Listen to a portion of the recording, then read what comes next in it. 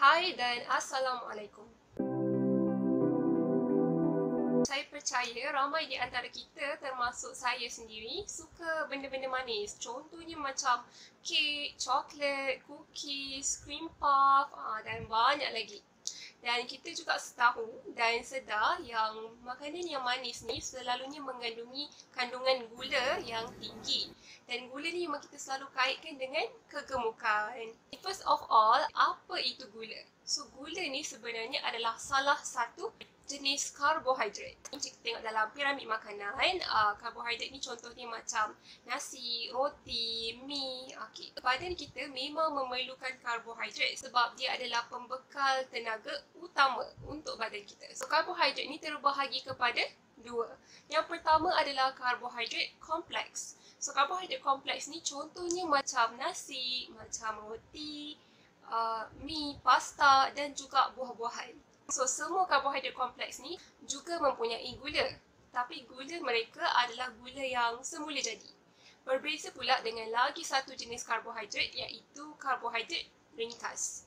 So karbohidrat ringkas ialah gula yang telah pun diproses. Contoh mudahnya adalah uh, gula putih ataupun gula pasir. So gula ini adalah gula yang telah pun diproses, kita tambah dalam masakan. Ini juga kita kira sebagai gula tambahan mana ianya ditambah dalam produk makanan. Contohnya macam kek, biskut, roti berkrim dan sebagainya. Okay, bila kita cakap pasal obesity, obesity ini terjadi kerana pelbagai faktor.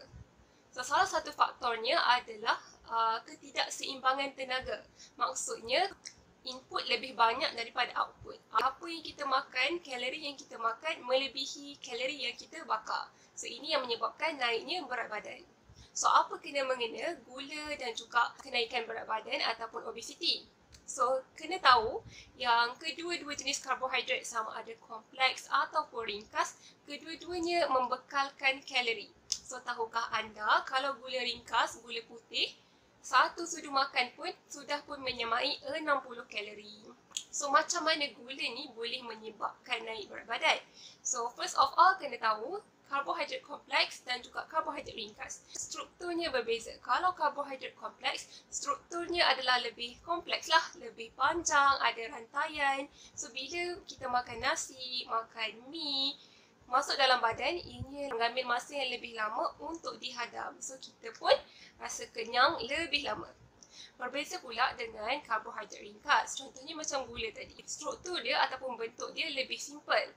So bila masuk dalam badan, cepat dihadam dan cepat diserap oleh tubuh. So bila kita makan benda-benda yang manis, contohnya macam kek, donat dan sebagainya, kita tak berasa kenyang. Cuba imagine, contohnya kalau kita ada sebiji cream puff takkan makan satu je. Mesti nak lagi. Sebab apa? Sebab bila benda-benda manis ni, dia akan trigger kita untuk makan lagi dan lagi. Bila kita makan, kita tak rasa kenyang. Dan kita selalu makan terlebih kalori daripada keperluan harian kita. Dan kita pula kurang exercise, kalori pun tak dibakar, maka lebihan kalori inilah yang akan ditukar menjadi lemak dan naiklah berat. So, WHO mengesyorkan pengambilan gula untuk orang dewasa adalah sebanyak 6 sudu teh sahaja sehari. So lepas ni boleh kira lah daripada pagi sampai malam. Okay, pagi kita buat air, tengah hari kita masak, ni petang tu kita nak buat kuih dan sebagainya. 6 sudu teh sahaja sehari untuk kesihatan yang lebih baik. Okay, so secara konklusinya, bila kita cakap tentang gula, so dalam buah pun ada gula tapi gulanya adalah gula yang semula jadi. Selain buah ni pula kita tahu yang ianya adalah satu yang sangat bagus, berkhasiat untuk tubuh badan kita. Tetapi, kalau buah pun, walaupun ianya berkhasiat, kalau kita ambil terlalu banyak, pun boleh memudaratkan apatah lagi gula tambahan, gula putih dan sebagainya yang memang terbukti bukan saja menyebabkan naik berat badan tapi juga boleh menyebabkan penyakit lain seperti kencing manis, kanser. Lagilah kita perlu elakkan. Jadi mari kita sama-sama uh, ubah gaya pemakanan kita.